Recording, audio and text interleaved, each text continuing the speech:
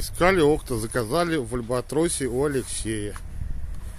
Пришло все вовремя, через 10 дней.